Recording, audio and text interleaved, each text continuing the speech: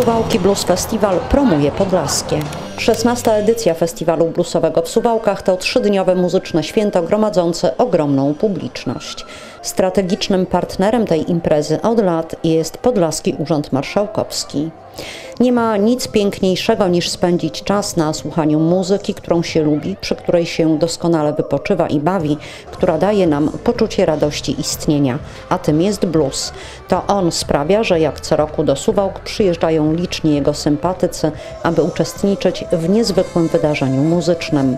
Napisał w liście kierowanym do uczestników SBF marszałek województwa Artur Kosicki, którego reprezentowali Wiesława Burnos, wicemarszałek i radny sejmiku Paweł Wnukowski.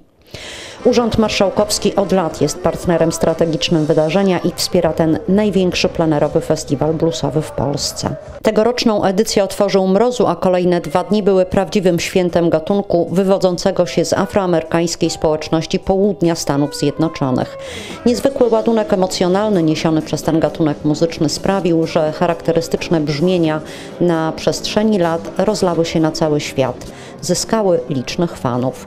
Z biegiem dziesięcioleci blues ulegał zmianom, powstawały liczne jego odmiany. Na czterech plenerowych i sześciu klubowych scenach Suwalskiego Festiwalu pojawiło się w tym roku ponad 40 wykonawców. Każdy odbiorca mógł znaleźć to ulubione brzmienie i nasycić się nim. Muzyka przez dwa dni królowała na ulicach, Usłyszał tylko znów Ogarnął kościa chłód i strach, to nie i w klubach.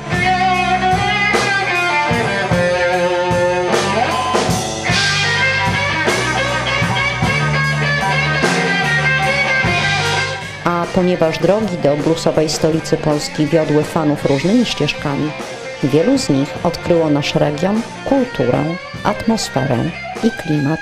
Impreza niesamowita, ludzie. Jeszcze w zeszłym roku zwiedzaliśmy całą ścianę wschodnią, wracając do domu. Podobało się. Kruszyniany, y, Supraś, piękne. Ludzie są wspaniali. Takie wrażenia pozostaną w fanach na długo i z pewnością są znakomitą wizytówką regionu. Podlaskie nie pali.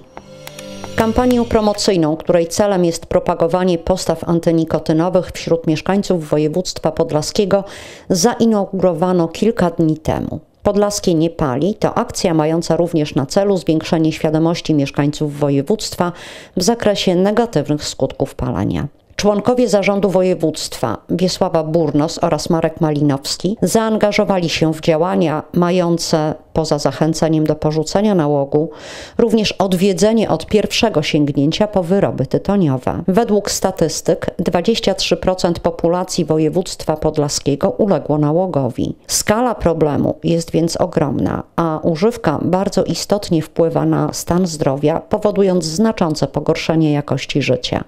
Palenie jest przyczyną licznych schorzeń układu oddechowego, układu krążenia, a w konsekwencji również przewodu pokarmowego, układu moczowo-płciowego i nerwowego. Styl życia ma bardzo istotny wpływ na zdrowie, podkreślał na inauguracji Marek Malinowski, członek zarządu województwa podlaskiego. Chcemy upowszechnić modę na niepalenie, bo ono ma ogromny i negatywny wpływ na zdrowie, a świadomość konsekwencji może pomóc podjęciu decyzji o porzuceniu nałogu. Jednym z elementów kampanii jest plakat promujący akcję. Ogłosiliśmy konkurs, który został już rozstrzygnięty na plakat Podlaskie nie pali. Chcemy, ażeby e, to hasło, ten przyjazny plakat trafił od dziecka do osoby już podeszłym wieku, która, która, która pali, żeby to było naszą marką, że my na Podlaskim podjęliśmy taką decyzję, że nie palimy. Na ten plakat przeznaczyliśmy 15 tysięcy złotych, więc podejrzewam, że to się stanie. Autorką zwycięskiego plakatu jest Pola Augustynowicz, której intencją było trafienie szczególnie do młodych odbiorców. Jej dzieło to dopiero początek szerokiej akcji promocyjnej. Samorząd Województwa Podlaskiego zamierza stworzyć tematyczną stronę internetową, profile w social mediach, przygotować ulotki, koszulki. W planach również są murale.